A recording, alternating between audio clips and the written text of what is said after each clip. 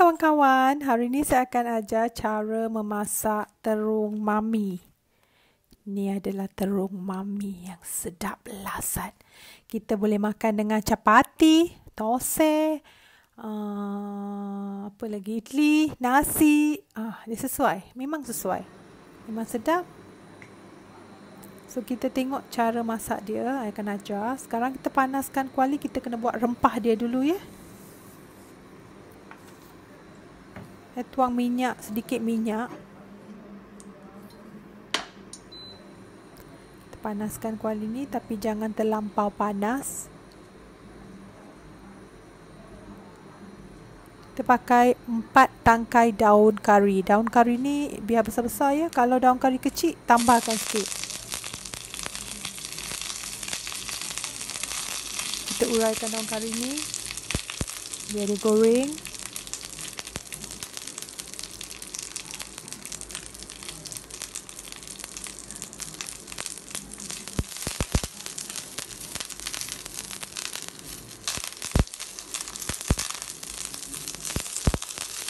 Ya, bau dia pun dah naik.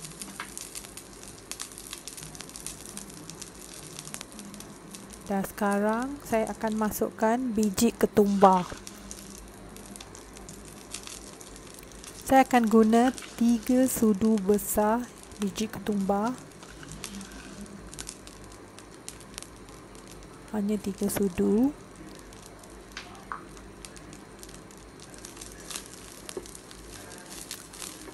So kita kacau dia.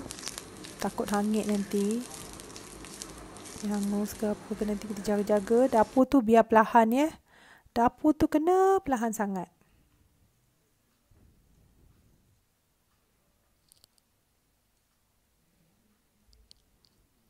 Dah ketumbar kita dah bau dia dah naik sikit. Kita masukkan cili saya guna 15 dah cili cili kering kita goreng bersama.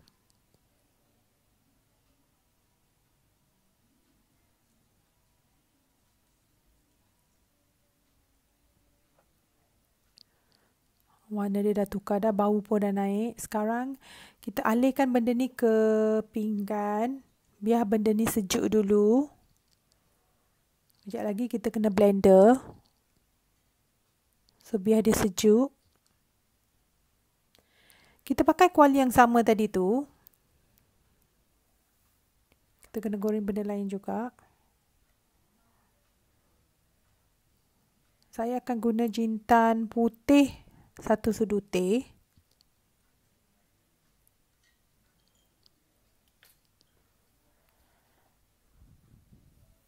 Helba satu sudu teh.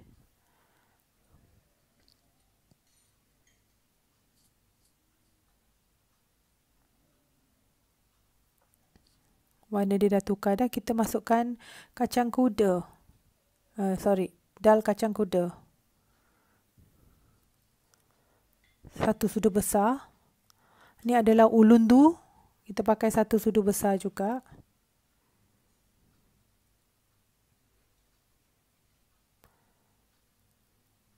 Kita guna beras. Satu sudu besar beras. Kita guna dal Malawi ya. Tadi kacang kuda, yang ni Malawi. Dua jenis dal. Satu sudu besar juga. Kita goreng benda ni.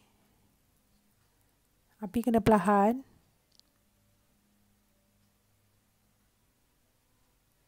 Kita goreng sampai bau dia naik dan warna dia bertukar sikit.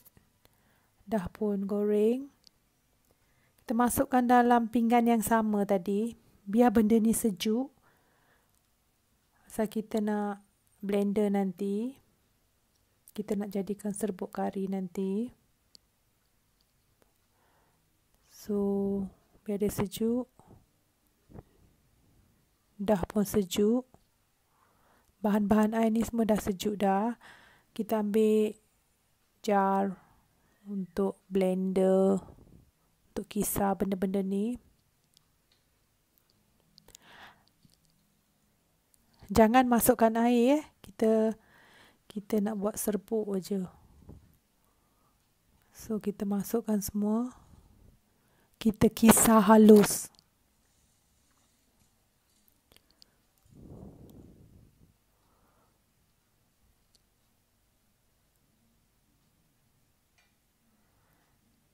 Tutup. Nak kisahkan benda ni. Dah serbuk saya dah kisar dah. Ni rupa serbuk yang ada kisar tadi tu.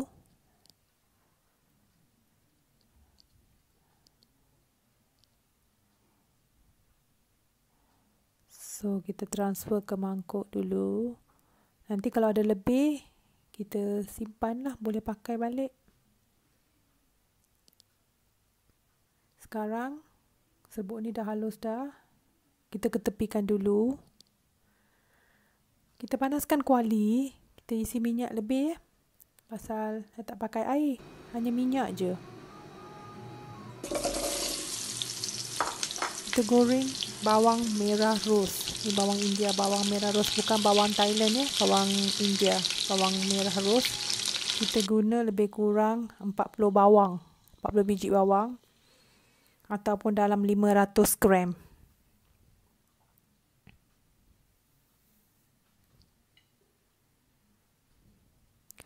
ni adalah terung saya guna terung bulat bolehlah guna terung bulat jangan guna terung panjang ya tak sedap saya guna 300 gram terung bulat.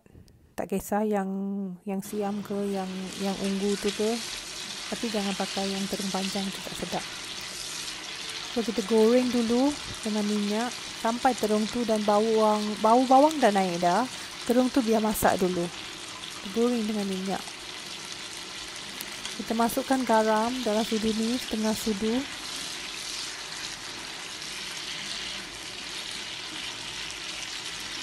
Kalau kita masukkan garam terung tu dan bawang tu akan cepat layu. Dia akan cepat masak.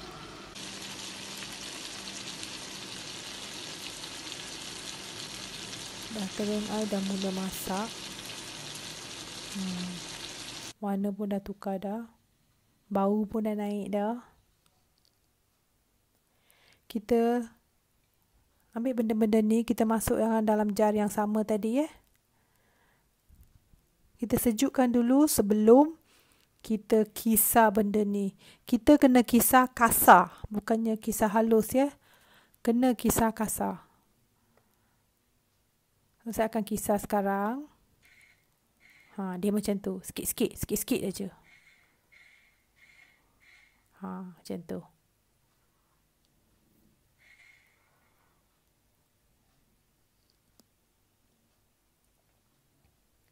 Terung dan bawang saya dah kisar ni. Kisar kasar. Kalau halus tak sedap. Dia kena macam ni. Dah. Kita panaskan kuali yang sama tadi tu. Kita tuangkan minyak. Biar minyak tu panas. Biar minyak tu panas, kita masukkan biji sawi. Satu sedutir biji sawi.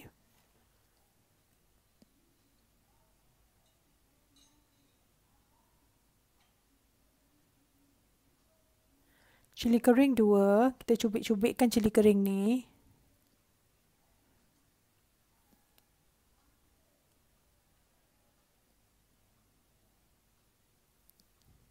Kita goreng sekejap.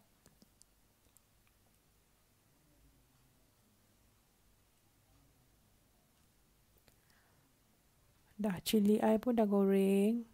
Biji sawi pun dah okey. Kita ambil terung yang kita blender tadi tu.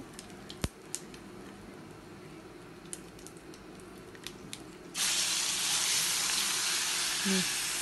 Terung yang kita blender tadi tu kita masukkan. Kita kacau, kita biasa kacau. Untuk masakan ni kita perlukan minyak lebih. Ingat ni kalau tak cukup minyak, tolong tambah minyak. Biar dia masak dengan api yang perlahan.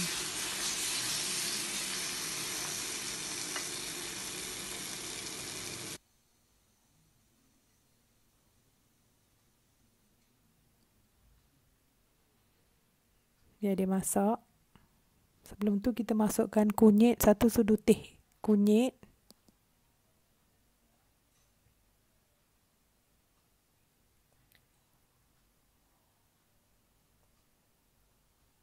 Kita ambil serbuk cili untuk warna ya. Kita ambil serbuk cili satu sudu besar.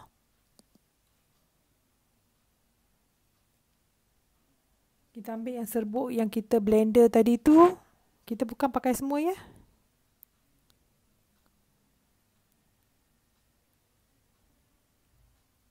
Kita hanya pakai tiga sudu besar. Dah, tiga sudu besar. Yang lebih tu kita simpan. Kita bekaskan, kita simpan.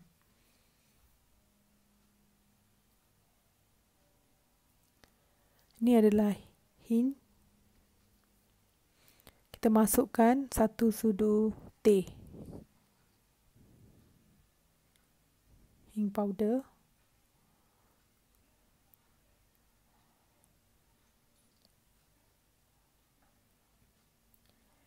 kita kacau biar benda tu masak kita sediakan asam jawa kita kita ambil asam jawa saiz limau ya lepas tu kita ambil dalam cawan ni kita ambil setengah cawan air. Okay, kita larutkan asam jawa tu.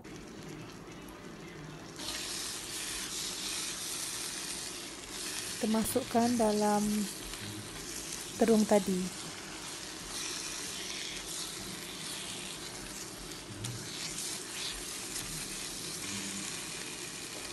kita tak masukkan air tapi kita pakai asam jawa je. Ya. Asam jawa kena pakai pasal benda ni boleh tahan untuk seminggu lebih tau kalau kita simpan dalam fridge. Kalau kita nak simpan dalam fridge boleh. Seminggu lebih kita boleh pakai.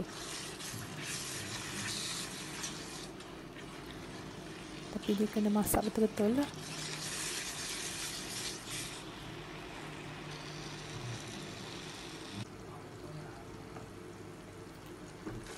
kita tunggu benda ni sampai masak sampai pecah minyak. Ni. Dah pun pecah minyak.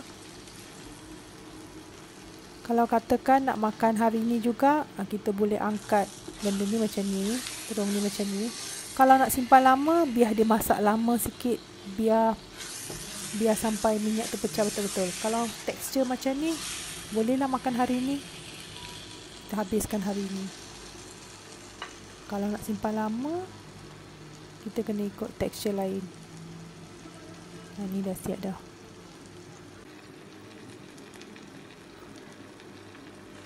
Macam ni rupa dia. Kalau nak simpan lama ini rupa dia. Dia kena berminyak macam ni dia akan keluar minyak dia akan garing sikit. Ha, yang ni boleh simpan lama. Kalau yang tadi tu untuk satu hari. Kalau yang ni kita boleh simpan untuk seminggu, seminggu lebih. Tapi kena simpan dalam fridge lah.